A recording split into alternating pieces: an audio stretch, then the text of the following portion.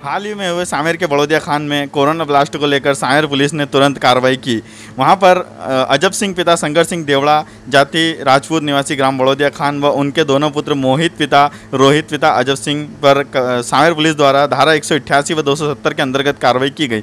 इन्हीं लोगों के द्वारा उस पार्टी का आयोजन किया गया था, जिसमें अजब सिंह के पोते के जन्मदिन रुद्राक्ष के जन्मदिन की पार्टी बनाई गई थी। वहाँ पर काफ़ी लोगों की गैदरिंग हुई भीड़ इकट्ठा हुई उस कारण से संक्रमण चारों तरफ़ फैला। और आइए जानते हैं सामेर थाना प्रभारी सुनील यादव से कि उन्होंने क्या कार्रवाई की और क्या आगे होगी। सर ये अभी जो बड़ौदिया में जो मामला हुआ है इस पर अभी आपने कुछ कार्रवाई की है? सर क्या कार्रवाई की एक रुकमा बाई पति गब्बू सिंह उम्र उम्र सत्तर साल। ये इंदौर की रहने वाली हैं राजनगर इंदौर की। इनको करीब पंद्रह बीस दिन पहले इनका दामाद, भगत सिंह ले आया था ग्राम बड़ौदिया खान में। वहाँ इनकी तबीयत खराब हुई बड़ौदिया खान में और तेईस तारीख को इनकी जब मृत्यु हुई तो उसी दिन ये मालूम पड़ा कि उनकी कोरोना की रिपोर्ट पॉजिटिव थी।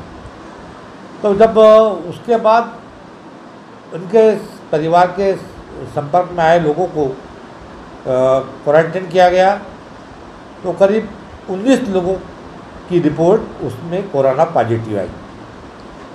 तो इसके बारे में हमने जब तफ्तीश की गाँव में जाके तो हमको ये जानकारी मिली कि दिनांक 18 पाँच 2020 को अजब सिंह के लड़के मोहित के लड़के रुद्राक्ष का जन्मदिन का कार्यक्रम इनने आयोजित किया था, जिसमें आयोजन में अजब सिंह और उसके लड़के रोहित और मोहित भागीदार थे।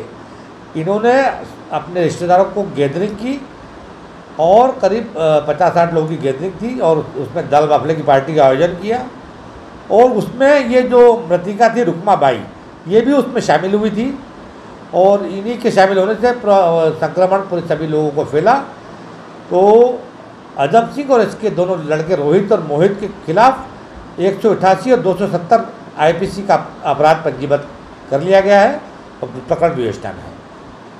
दोपहर न्यूज़ के लिए कैमरा पर्सन राहुल हारोड़ के साथ जितेंद्र सोलंकी की रिपोर्ट।